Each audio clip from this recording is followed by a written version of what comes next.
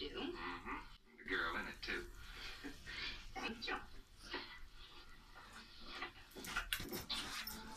I knew there was something on my mind. What is it? Well, yes, will you dine with me tomorrow night? Maybe. What's worrying me. It's the next night. But Shelby, I don't think. What about three weeks from tonight and all the nights in between? Don't you think I have any other engagement? What about two months from now and the month after that? What about next year? That's all settled. What about breakfast? What about dancing?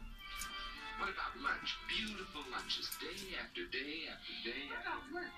Beautiful work. Day after day after day. Why, Miss Hunt, the way you talk, you'd think I was in love with you.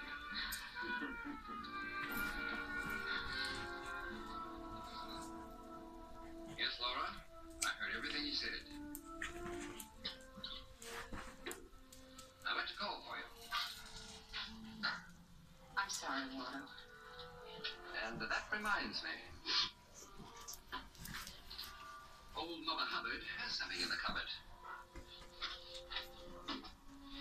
Results of my private investigation of that stirring character, Mr. Shelby Cotton. By stooping so low, you only degrade yourself, Waldo. Did you know that he almost went to jail for passing rubber checks?